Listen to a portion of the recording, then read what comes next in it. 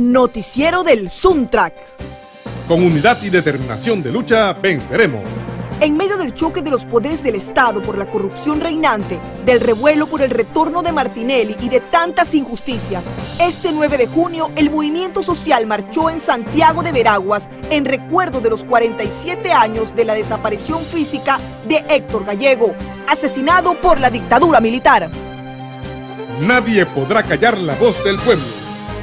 David Niño, dirigente sindical del Suntrax desde la Organización Internacional del Trabajo en Ginebra, nos da cuenta de la intervención el lunes 4 de junio de los delegados de Panamá.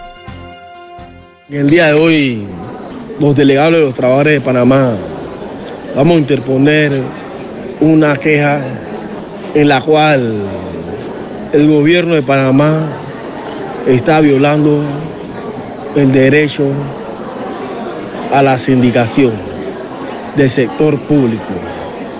Nosotros vamos a interponer una queja por el tema violatorio de la República de Panamá que no está cumpliendo con el convenio 87, en la cual la Organización Internacional del Trabajo habla con claridad de que los países deben abrir la puerta a que todos los sectores, tanto públicos como, privados, tengan el derecho a la organización.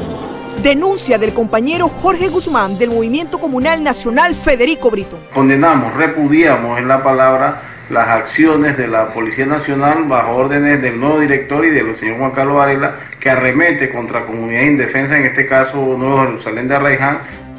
Sin luchas no hay victorias. Todos tienen derecho a vivir mejor, no solo el rico,